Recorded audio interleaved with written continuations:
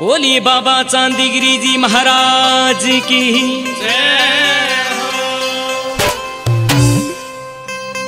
या तेरे दर पे दुखिया आई हो, चांदगिरी महाराज सुनो। तेरे दर